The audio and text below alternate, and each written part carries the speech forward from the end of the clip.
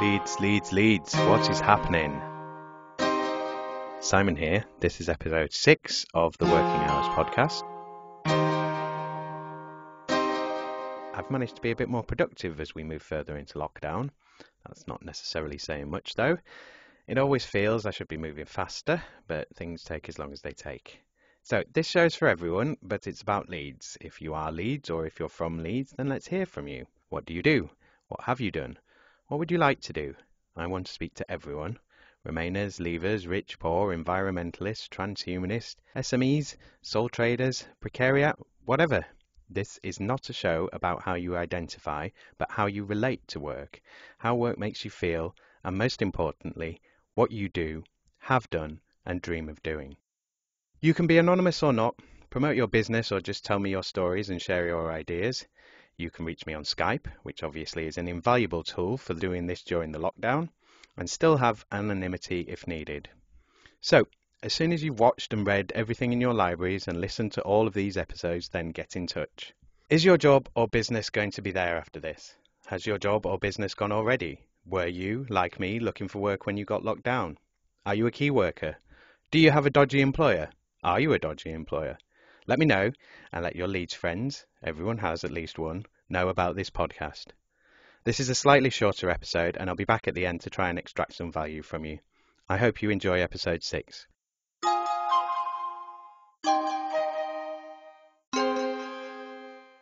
What did you want to be when you grew up? Ah, um, I don't really remember having an idea of what I wanted to be when I grow up. Grew up, grow up. Have I grown up yet? That's a good question. Um, so yeah, it was. I don't. I remember having a um, careers advisor coming into school and being highly amused by this kind of meant to be kind of complex system that they had that would ask you a few questions and get you a, an idea of what you want, what they thought you should aim to be. And about half the class, including myself, came back as being getting um, the job title of a window dresser, um, which really made me laugh at the time. Thinking, I don't want to do up displays in shop windows. That's not. I, I don't really know what I want to do, but that isn't like a life choice I'm aiming towards. Well, plus, how many window play window dressers do people need? I mean, like that's an entire class. Surely that's the cohort for at least the region, you know. Well, it, it was bizarre. It was it was really odd. I remember it. It, it was like, oh, you know, we've got all these jobs in this data bank, and we'll be able to kind of like siphon it out from the way you, the questions that you answer and whatever, and, and it'll come up with this. And ev- loads of people got window dresser. I don't know if we did something wrong or what, but that, that that's a, that's a memory that stuck with me. But um, I mean, from quite a young age, and I probably put it down to kind of my uh, stepdad's um, kind of focusing me onto IT. I enjoyed working in IT or working with IT. I mean, I'm not mean in the way of actually working, but I mean in the way of playing on the computer and doing stuff. Not necessarily games, doing coding and learning about the operating system and all stuff like that has always yeah. kind of intrigued me. So from quite a young age, I kind of knew that my focus was going to be IT orientated. And you were like, you were in the 90s when there was a big growth in IT jobs and things like that, so it was fairly easy to fall into. Uh, so, I, I, mean, my follow-on question generally is like, what what do you do now? But you've kind of at least hinted at that. So, yeah. what, what do you do now? I now work in well, I would say IT infrastructure, but it's kind of infrastructure and application support in that way, kind of at that level. So I my primary roles at the moment are looking after um, virtual server farms, hypervisors, and things like Office 365, the back-end administration of Office 365 implementations. So currently, um, the environment I'm looking after for Office 365 has 25,000 students and two and a half thousand staff, and that's the type of kind of thing that I'm I'm have to look after on a daily basis. Okay, so what? Uh, I mean, you you used a lot of sort of working terminology in there uh, that would mean something to people who know about architecture yeah. and infrastructure and so on. But what what does that kind of involve on a day to day basis? Are you largely just sort of going in and resetting people's accounts, or is it more complicated? It's more complicated. That? There's also, I mean, there's um, been quite a lot of changes with the current um, situation with COVID 19 and people working away and needing collaboration tools and all the rest of it. So there's been a lot of kind of more configuring an environment and making it so that certain options are available to large groups of people and then controlling that environment. Mm. Um, because there's there's lots of silly things that, that especially when dealing with um, the type of customer base that I have, mainly you know the majority being students, you end up with silly things where they will start creating stuff that could be visible by a lot of people, but they'll name it something that would be offensive to certain people. So it's controlling this sort of kind of environment where you you're not only you're trying to make everything accessible, but you're also trying to restrict it to make it so that you don't end up suddenly somebody kicking off and going and complaining to people and it ending up where people make rash decisions to close off services, which then affect a hell of a lot more people. So you, there's a lot of kind of manipulation of a, of a, of a kind of digital environment that you end up doing, but having to have quite a sensible view set on to make it so that it's most accessible, but also restricted and controlled to make sure that it complies with all kind of regulation and is mm-hmm. and is and is and is actually working for everyone because you know we had a, a, great example of someone doing a student doing something that was blatantly done just to see if they could was they created a group that was called HR, and they managed to do it. And then everyone was sending sensitive documents to the HR, to our HR, but was yeah. managing to hit this group, which was set up, which meant it could receive emails. So this yeah. this group got shut down really quickly. But I mean, it's just a case of you're dealing with 18 to 25 year olds who yeah. will push the boundaries. And and and to be fair, something like that, from our point of view in our, in my line of work, is a case of yeah, you you you learn from this sort of thing and go right. Yeah. We need to start being restrictive because this can this could be someone you know a, a student or a member of staff sending something in that was highly sensitive that mm. should only be seen by a certain person who may have been waiting for it to arrive and move it into a secure yeah, whatever. And, it and all the whole data protection yeah, with somebody who you don't even know who they are or what, what they've done with it and if it's been distributed. Mm-hmm. So yeah, so there's a lot, there's a lot of that. That's kind of like a white hat hacker though in some way. I mean, more so if they told you that they'd done it, or you know, like I was able to set this up rather than you finding out. But it is kind of those, like you say, those things sort of highlight things that you've overlooked sometimes. You know, oh, like Absolutely. Yeah. And there's you, yeah, you when you when you're putting in something like you know when when you're making a big change, so moving to moving all, all our systems out to um, in this case it was Microsoft. It opens up so much possibilities for people, but also opens up so many vulnerabilities for people. And, uh, and you know, all they, all Microsoft are doing is saying, here's a platform, you can do loads of stuff with it. It's brilliant. Look at us, we're great. And then afterwards, you kind of go, wow, this is a huge amount of stuff to suddenly realize you've got to manage. Yeah. And without actually understanding exactly how to manage it, it can be an absolute nightmare. Yeah. Uh, from a, from a, Especially from for that many users as well. Yeah, from an end user point of view, it's a, in an environment like ours, it's a it's a minefield because you know it all it's all very personality driven as well. There'll be there'll be people out there who are very closed off and don't want to have all their stuff in a shared environment that can be viewed by everyone, and other people who just don't care.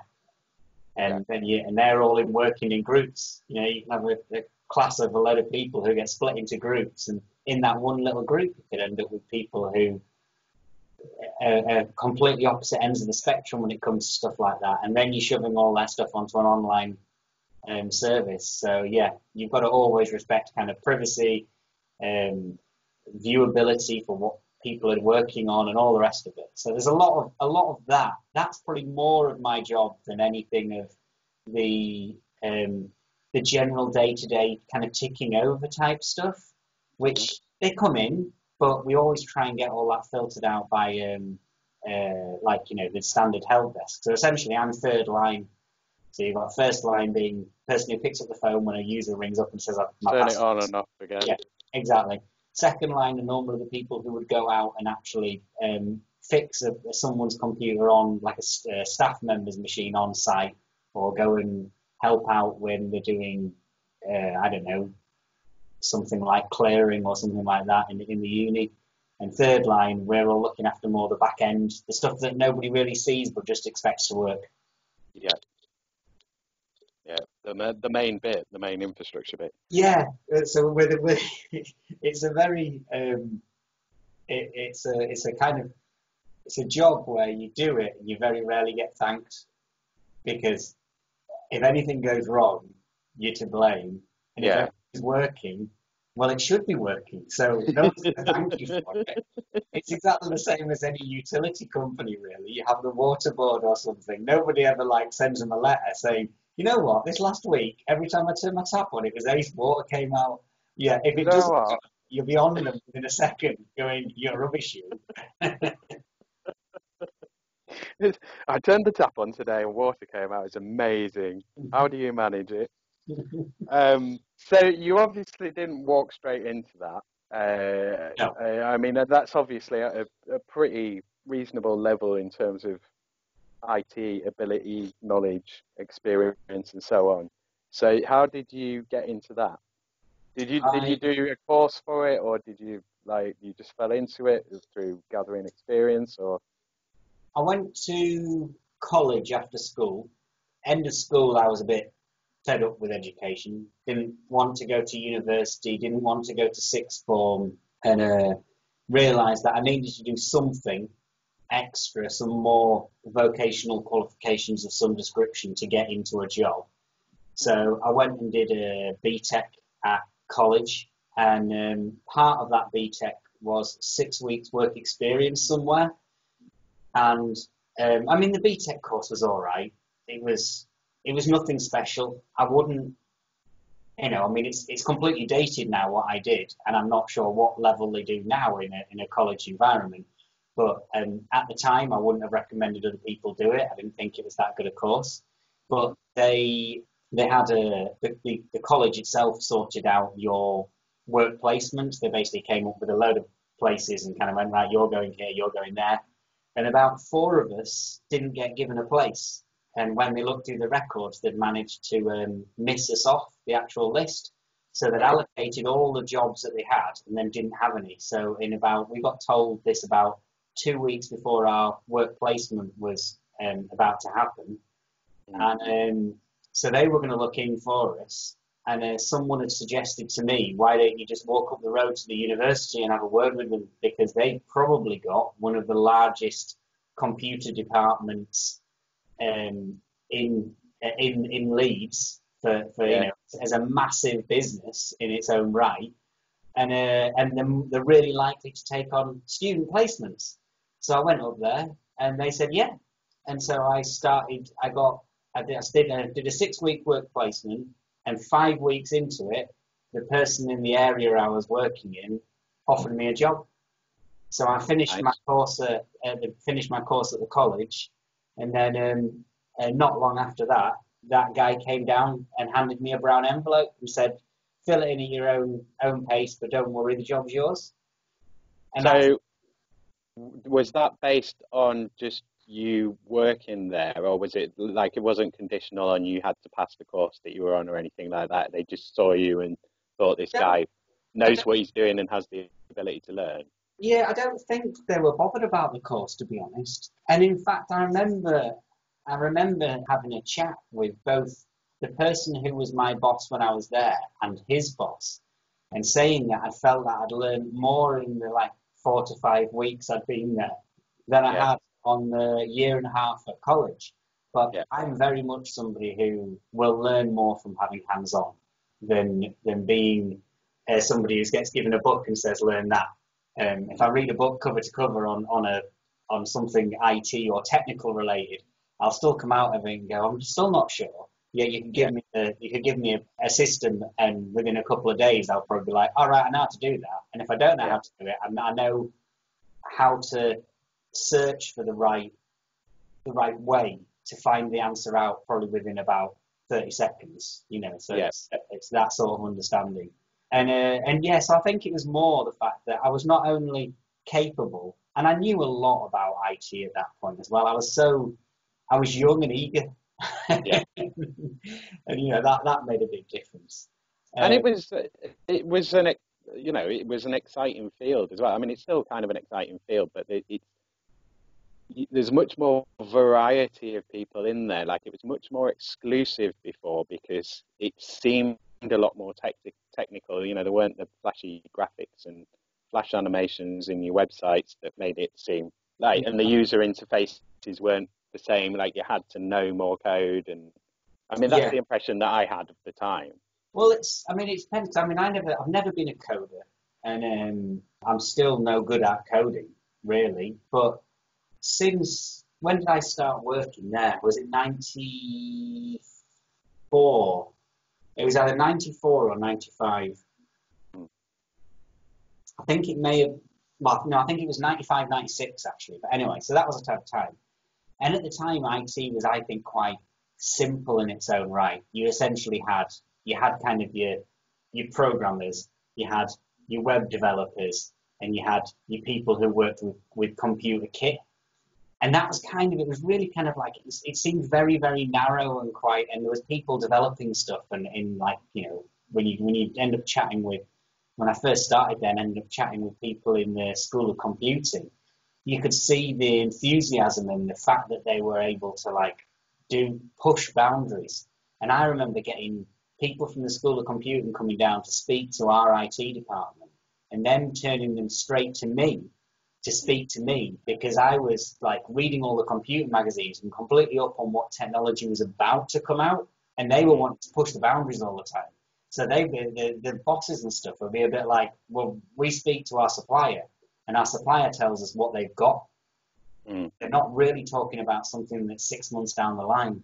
They're, yeah. they're, they're wanting to sell you goods. They're not wanting to kind of go, oh, well, don't buy anything now because six months down the line you can buy this. They want the money out of your, your hands straight away, don't they? Mm. So, um, and I'd be looking at all this stuff. So I'd be talking to people and kind of saying, oh, you know, you, you know this is coming, and they'd be like, yeah, and bounce ideas and stuff. And it was it was exciting. It was good. It was really kind of like it made you enthusiastic to go into work.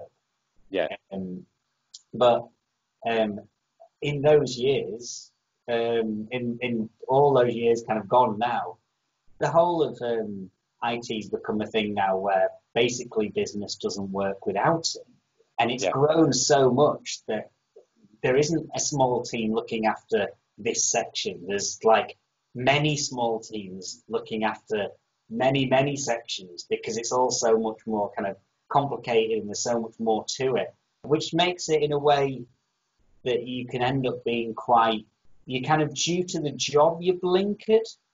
Mm-hmm. So you end up where you you kind of want to know more, but you end up focused on one thing and you don't see the bigger picture, which it, it didn't used to be as much as that because you'd have a, a wider scope of things that you'd end up looking after. So you you sort of had more oversight. Like I suppose at the moment we're we're really talking in a kind of I mean the internet was there, but it wasn't. You know, this is pre FreeServe in the UK and so on. So it wasn't. I mean, yeah. It didn't really get massive till like the latter half of the nineties over here, did it?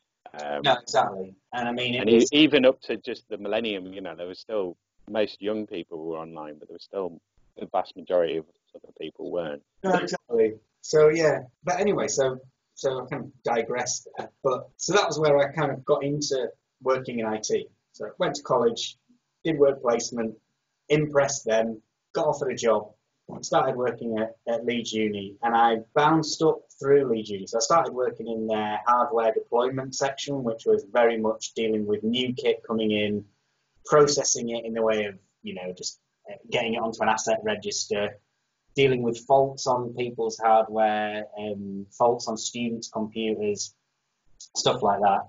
And then uh, after two years, I think there, moved into their second line team. And the second line team went through about three different changes of name and bosses and restructuring within the department. I think it started off being um, IT facilities management and ended up being just um, IT second line. I think I can't remember what my title was by the time I left. As much as I can see now the scope of having a having experience of working in a first line environment could be useful for someone like me who's worked in IT for so long. Mm. But working in second line was just great. It was basically a people job. If you're good with people, you could do that job as long as you knew your IT stuff. You didn't need to know that much because you had such a big team of people around you that even if you went to a situation where you didn't know what the, the solution was, you could find it by just speaking to other colleagues. But yeah. the, the actual job itself, um, I uh, I got bored of by the end. But for many years, I loved, and I loved it just because of the the variation of people and departments that I'd go to. It was very very interesting, and I found. I mean, I've always worked in universities, and the the kind of massive amount of different people you meet is really interesting. And in that second line role, it was unbelievably interesting because in like I was covering and supporting certain areas and things like school of medicine. You'd meet some of the most like you, you'd go in there to do a job that would be five minutes, and two hours later you'd come out and you would have to make an excuse to your bosses why the job took so long, even though it was a really simple one. But you I remember going and seeing people who were um, designing on uh, on like old school 3D rendering machines, um, uh, knee and hip joints, but literally yeah. doing them from an X-ray and like loads of X-rays, and then building up this this 3D design to be able to then send it off to get things like that developed. And you're just like, wow, this is life changing stuff for people. And then you do that, and then you go and work in, uh, in something like theology.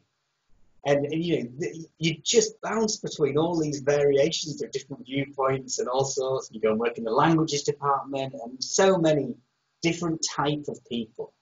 And it was a, that was what I loved about that job. The IT bit, it kind of was easy in a way because you know I could do that, and it was it was it was simple to me. It was simple, but the the people made it the enjoyable part of going to work. Yeah, and I suppose with a role like that as well, you know, where you're being sort of more hands on, you are learning a lot because you're encountering a lot of different problems, errors, so on. So, mm. you know, you'll get one that you'll spend a couple of hours on, and then you might see that again, and it's like, I know how to do this now, so it takes me five minutes. Yeah, exactly. Exactly. So, what was what was like in terms of staff levels and so on. I mean, did you start with quite a small team and end with quite a big team? That's the impression that I would get, or did it stay about the same? Or it grew a bit, but it didn't grow massively. Um, the the workload was generally quite manageable. There it was. It was quite a um, a manageable kind of like.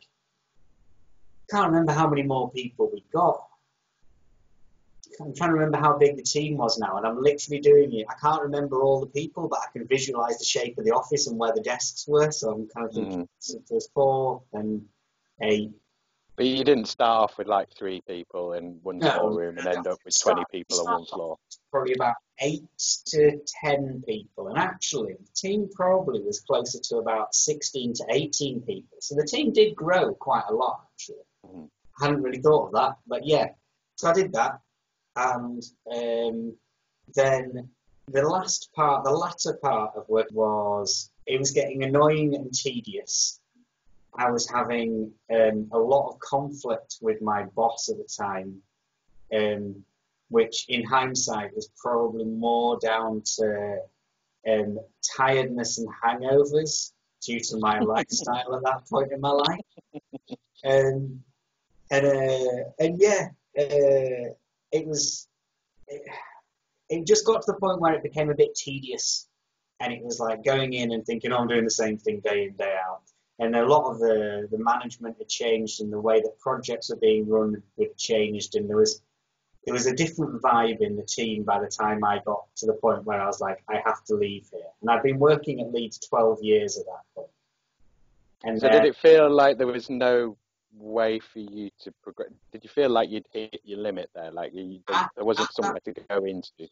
At that point, I'd have loved to have changed my job and stayed at Leeds because mm. commuting to Leeds is easy. The people I worked with were great. You know, I've still got really good friends who are at Leeds Uni and still working there. I'm not sure how they managed to still work there, but you know, they put up with it and stayed there. But there's, there's, I've, I've made some brilliant friends when I was working there. And um, but I remember my boss turning around to me and saying, "If you want, the only way up is out." And I was kind of like, "That's completely against what the actual recruitment pack even says that you get when you mm. start." And we were still giving out. And he was like, "Oh, you know, we offer all these opportunities for progression." And then you've got a line manager saying, "If you want up, it's out." Mm. And I was just like, "Right, okay." And then an opportunity came up at and I was thinking, well, it's a, it's a bit of a pain in the ass to commute, but it's a proper grade up. And the way pay scale systems work in universities is essentially you start at the bottom and every year you take an increment up until you get to the top. And a pay scale, depending on which one you're on, could be anywhere probably from about five grand from start to finish up to about 30 grand from start to finish of the the further you go up, the, the bigger the, um, the changes are. So the, the, the, the pay scale, the, the pay rise was worth it. The change was so worth it. The team was, was a really good team um, who I moved into over there. And that went along for a bit. And then they uh, dissolved the team, which was quite disappointing at the time but kind of beneficial for me. So I went over there doing a job that was classed as a client consultant. And the whole premise of that job title and job role was to ensure that departments in were falling in line with central IT's IT focus and falling in line with their, their own budget. So that mm-hmm. they had a if they had a, I don't know. I mean, I was one of my main areas I was in was art and design. So they mm-hmm. had some, like, you know, some stuff that they wanted to do that was going to cost a lot of money and essentially wanted Macs or wanted whatever and they wanted to do it this way. And when you've got an IT service who's basically essentially across the board Microsoft based, mm. and they introduce a load of Apple kit into it, it's whether or not you can do that and keep it secure with the users having access to their storage space and still being able to get to all the lecture notes and blah blah blah. And at the time, it wasn't as um, it wasn't it wasn't online in the way that it is now, where you can just dump everything into OneDrive and it'd be there. And that's what it should have been. And that was really interesting. And it was it was really nice to get a good friendship with like the deans in departments and the head of International Study Centre at the time. She became a great friend and uh, and it was it was interesting. It was varied, and it was able to kind of like basically be an advisor and make sure the communication between our department and these other departments was really kind of open and fluid, and made it so mm-hmm. that they couldn't they could come forward with a suggestion, and you would have to be able to say no to them, but in a way that is basically saying we can't do it like that, but we can do it like this. We can yeah. offer you your exact solution but it might not be in the way that you originally done it, and essentially make it so that they feel they're happy with that solution at the end of it all. So it's kind of a, a, a job related with dealing with people and mm. understanding IT, but also being able to have that kind of uh, communication from both sides. So being able to work within our own department and talk technical, to being able to turn that into a non-technical speak, to be able to speak to them and make sure that this worked throughout and ensure that everyone ended up with something that worked for whatever they were trying to do. Mm-hmm. And they dissolved that because they didn't believe it was needed. They've kind of reinstated it now, which I'm not surprised at because it was blatantly needed, and anything like a university or any massive corporate type of thing with so many variations needs to be able to ensure that there is a level of communication between one group of people and another group of people Mm. if they all rely on each other, but they don't understand how much they rely on each other. Yeah. That's kind of basically where it comes from. And uh, but at, when they dissolved it, there were jobs um, within the university, within IT, and I wanted to kind of get into infrastructure, which is exactly where this kind of where we, we got onto this from. And so that's how I got into that.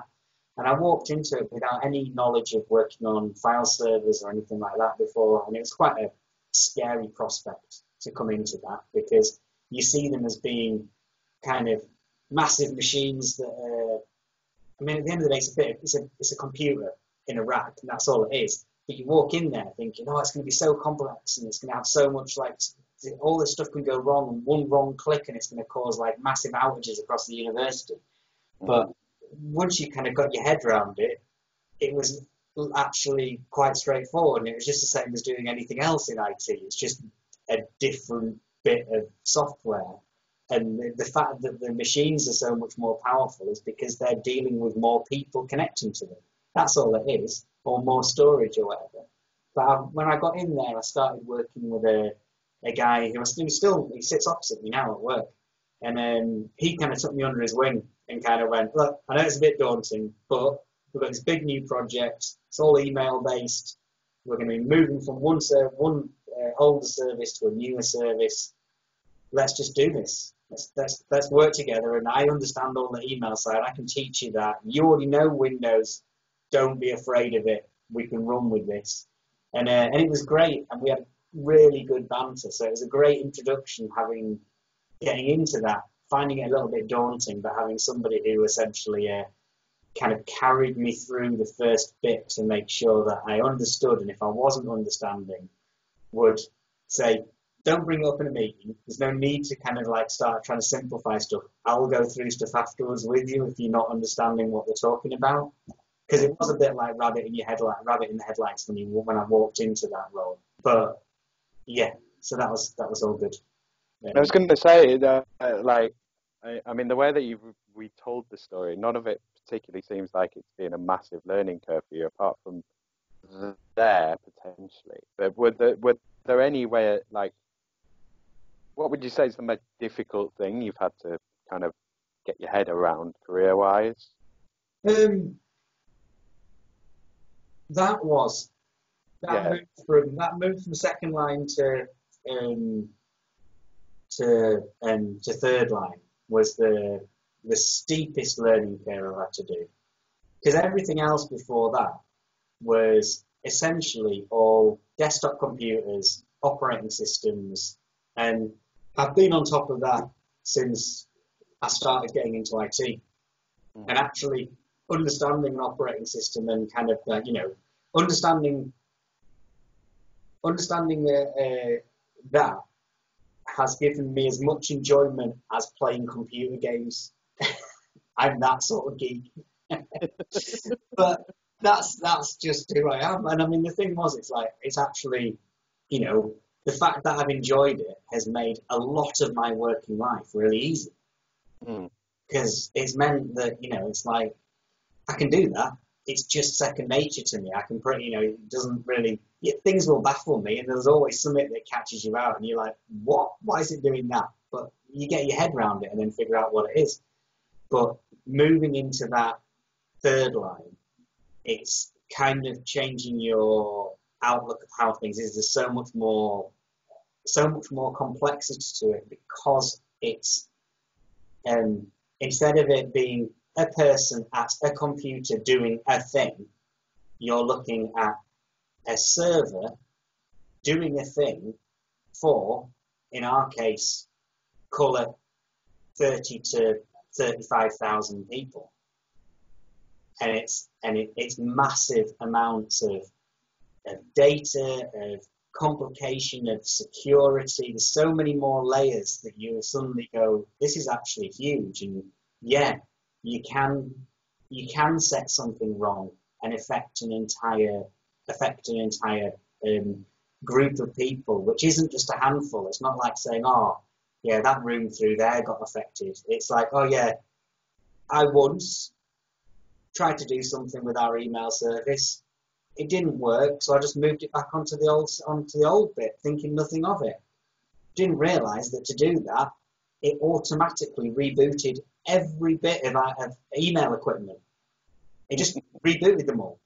Mm. And that literally took our email service out for 15 minutes. Now it's only 15 minutes, but when you've got all your staff in the middle of the day relying on email, and every single email client, like your Outlook on your screen, pops That's up. Several hours of phone calls and emails. Oh, I, I, I had to ring IT support, and it was like everything. You know, that sort of thing is like where you before you do something wrong on a on in second line, and it's just a case of you, you do something wrong and it affects that user, and it might make it so they're not working as fast as they would have been if I hadn't made a mistake.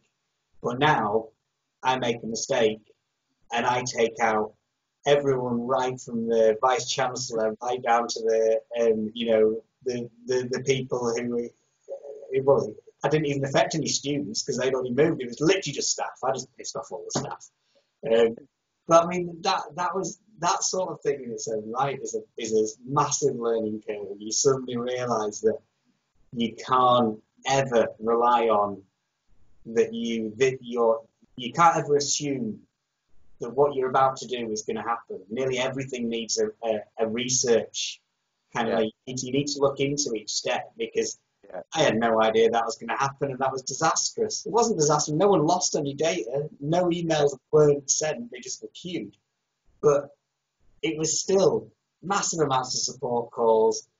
Me getting pulled up by every person of management in our department saying, "Why did you do it?" and me kind of going, uh, I thought it wouldn't do that. so you know, it's, it's it, it, has that's been it's been a steep learning curve, and it's been a lot of stuff realizing how much more, how much one one small change can make such a big difference. It's well for what you've said. I want to just cover a little bit about the people side of things. So obviously, it's like the second line stuff, you're going out, you're seeing people. You said that that was really, right, that's a good experience and a good part of the job. Um, from this side of things, where you're more staff based, and I'm imagining you're going to be in more meetings, and I imagine you're involved in more departmental meetings or questions from departments. So, is that like how's that changed? Obviously, like what I'm leaning towards is that I think the moving into uh, third line support, dealing more with the institution, you're dealing more with the heads of department and so on, with their plans and with their strategies. Um, not that you'd necessarily be involved, you'd only be involved if they had some sort of technical question. But that gives you more knowledge about the organisation itself and how it runs and what, what they're paying attention to. Whereas in your a lower level, and on second second line support, you're seeing it more from like the student side of things, the customer user side of things. Um, does that ring true? And does that like can you talk about the differences in that like the two effects? Unfortunately, it's not it's not as varied as that. So mm. the the feedback and the drive that comes from what departments are wanting now um, comes to me secondhand through previous meetings that have happened. So my meetings that I have are normally with the same people, and I'm dealing with the same groups within our own department, um, and it is a bit draining. Um, the, there's I've often felt since being in this this role that you have days where you're like, I wish I was back in going out around the department, around the university and seeing people because of that yeah. variation rather than being in meetings, especially when you've got, you know, I mean, you're always in a situation. It's never a, I like the team I work in. They're a good bunch, but in certain situations, people drive you mad. I'm sure I drive people mad, but other mm. people drive me mad. And when you're in the same group day in, day out, you mm. end up where you know there's a meeting about to happen, and you already preempt who's going to absolutely piss you off. Mm. And it's like you're like, oh god, this is going to be hard work. I mean, it's, it, but and so yeah, so that that variation doesn't happen anymore. Yeah, it's a lot more meeting driven. It's a lot less people driven. My previous experience definitely benefits um, de- definitely benefits me in the decision making that we make on how we do changes and how we do things. And often I'm asked about, uh, I'm asked viewpoints and stuff because there's quite a few people who pretty much kind of got degrees, then taken a focus on a on a Microsoft course, and pretty much only ever worked on third line or something like that level, and have never experienced the from a customer's point of view more. Yeah, user frustration, And, things and like you, that. you sometimes get in meetings decision decisions being made, then you just think that's such an IT view. That's such hmm. a oh we do this and just and that's it. And they're like, oh that's going to affect that many people. Oh well they'll have to deal with that. And it's like if we were a if it wasn't a No, your team will have to deal with that. yeah, if it wasn't a university and what you were talking about was a product that you were selling to people and your attitude was you'd have to deal with that, you'd just lose customers. They'd move to a product that would be better suited and doesn't have the well, you've got to deal with that attitude. You know, you've got you've got to have the customer's viewpoint in mind at all point, all for all changes pretty much. And sometimes the answer is they've got to deal with that. Hmm. And a lot of big products do it all the time. Microsoft do it with their operating system every every damn five years or something, you know. But You've think- moved all the buttons around again. You have to guess where they are. exactly. This time we've made it so that you have to use your nose to operate this machine. Great, thanks, Microsoft.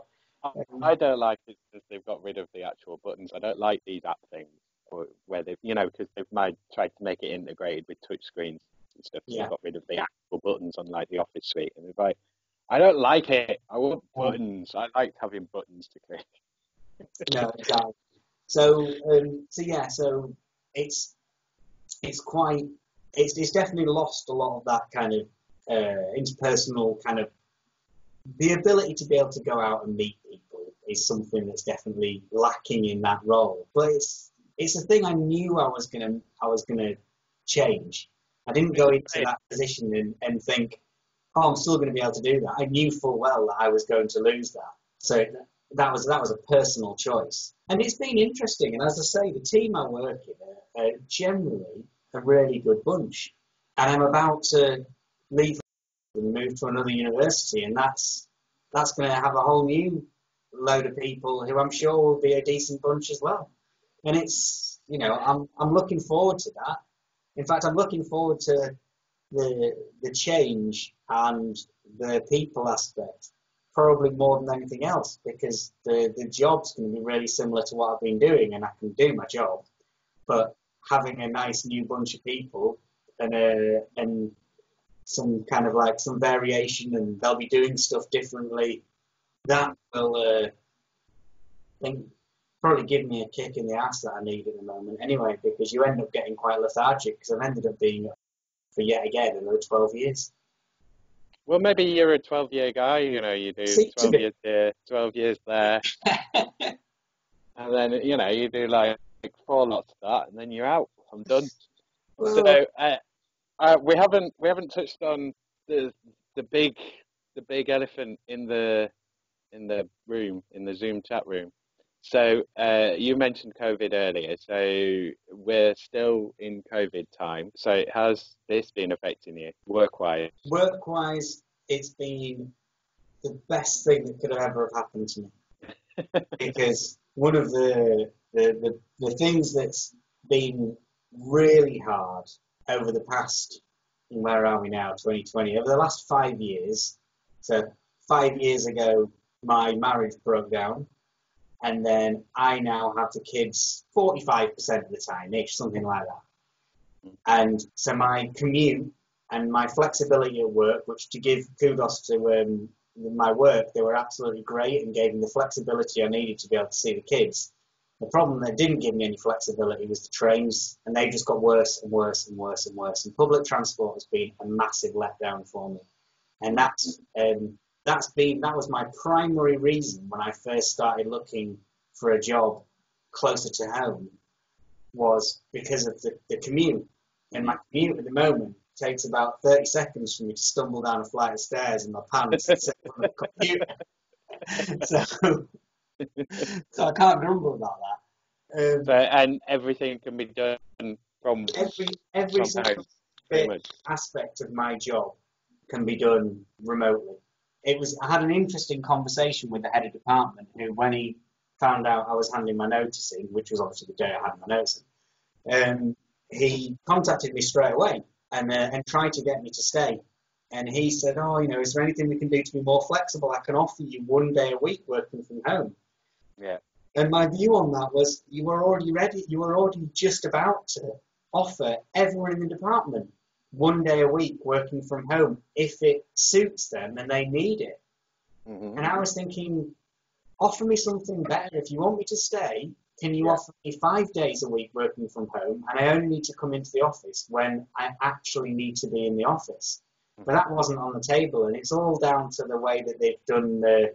They want to try and appease everyone and not upset anyone. Mhm. And what actually would be far better to do is to take a case on case basis and work on the fact of why does this person want to work from home? Can we allow him to work from home? Do we get better work from him working from home? All these kind of things can be evaluated. And, um, and they already know from since COVID's hit that actually I work far better working from home. Mm. I, I, get in, I, I can start the morning and be quite happy. Yeah, before I could start in the morning and be quite happy and then deal with Transpennine Express. And by the time I get to work, be an absolutely miserable git. You know, it's, and it, it's that. So, you know, the, the whole, the idea that it's ended up when I'm working from home is, has been fantastic. Um, the lockdown in other ways has affected me in the way of the socializing, seeing friends, seeing family. That's upsetting and, and kind of Yeah. it, it hasn't been to the point where I've kind of been, uh, you know, it's just it, it's more of a niggle. You're kind of like, oh, I'd love to go to the pub tonight. Yeah. That sort of attitude. I'd love to go to the pub tonight, or I'd love to go around to a mate's house this evening, go and have a with a few friends and go and see see see a bunch of mates. That sort of thing is is the thing where you just kind of like balls, and you think, oh, you can have a Zoom chat, and we've had a good laugh and a few Zoom chats and stuff like that, but it's not the same Not as the same. is just chilling on a sofa or being sat in a pub and just with even with just a mate and having a pint. It's like even, even being at home, pouring yourself a pint of beer. It's, it's not the same as having a pint in the pub.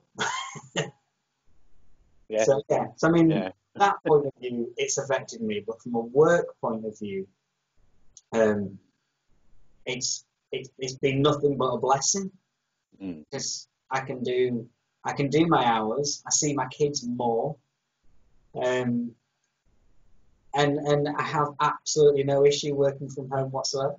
It's been great. Uh, what about on the collegiate level? Is it like is everyone able to keep in touch and sort of? I I guess you're all on chats all day long, anyway. Either way. well, uh, I mean, we yeah we've um, we have video calls and we have um, meetings and stuff. I mean, one of the things that I've found being I mean, a couple of people have um, messaged independently about this um, out of the broad scope of the meetings, but meetings are more efficient. Before when we've had we've we've had meetings, generally a meeting that would be like a big group of us in an office um, would take let's say it took an hour.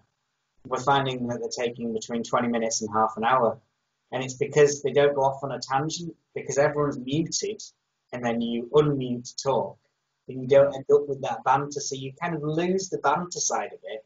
But it wasn't beneficial anyway, really, and Mm. you still get the banter because you end up during the working day chatting with colleagues anyway, and half the time it's instead of typing, it's easier just to kind of go free for a call and just go yeah. And in that period, you might have you know, five, ten minutes talking about what you need to speak to them about, and then five, ten minutes just going off on a random tangent about something completely nonsense. But so you're still getting it, but you're able to be more cherry picking about who you have your, your conversations with. Yeah. Yeah. Yeah. Um, you, you you can't mute someone who's stood by your desk, unfortunately. No, well, I had a. There was a meeting going on the other day, and there was a certain person in there who was saying something that um, was essentially just rubbish, and and it wasn't making sense, and it it wasn't constructive, and it wasn't anything relative or useful for where we were actually going. It was literally just saying saying words that were just wasting time.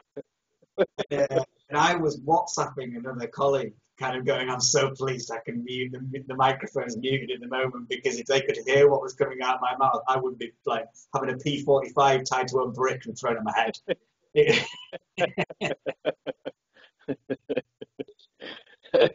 so that's the way forward for meetings. Treat them more like other media engagements, and then all, all the business can be done in the meeting.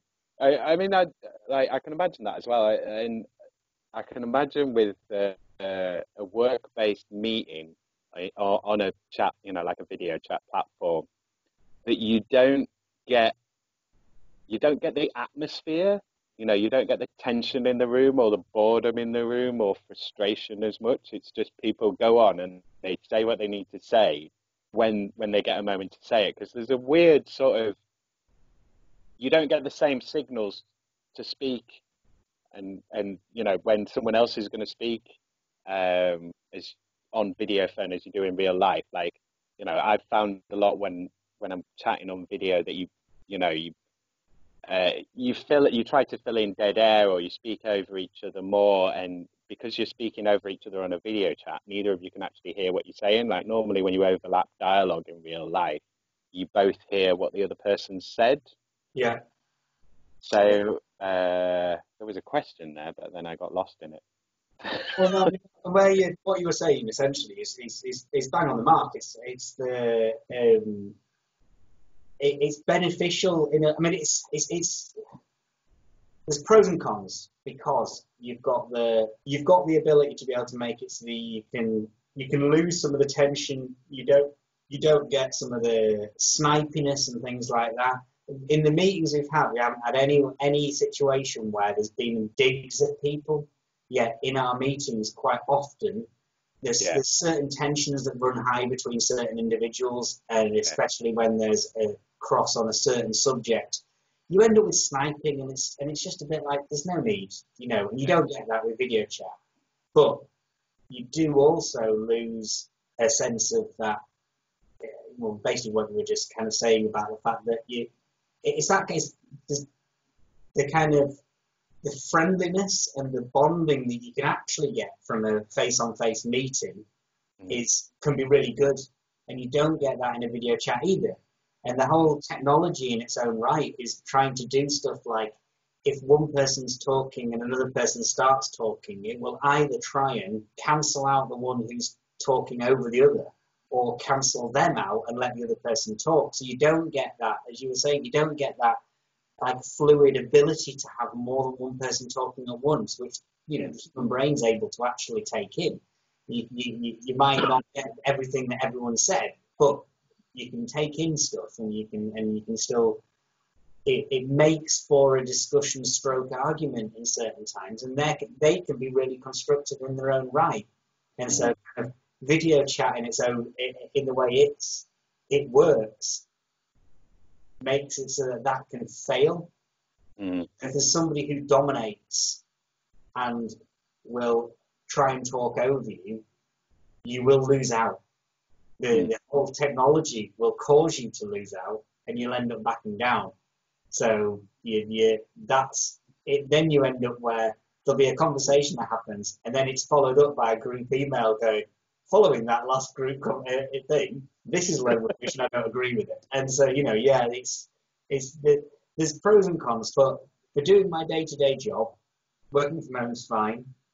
Most meetings, fine, and have been actually really good but I'm not saying that it's the be all and end all and the right way to deal with all meetings. I think mm. I think there's there's there's definite there's definite positives to being with people for many many reasons, but in just in in a work related environment, I think that for a good discussion to take place and a lot of construction kind of constructive stuff to come out of it, you probably get better feedback and everything out of it by being in the same room and having it than you would over a, um, a video chat.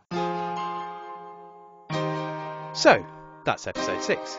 Like this, share it, and do some online labour for me. More importantly, tell your in real life colleagues and neighbours about this.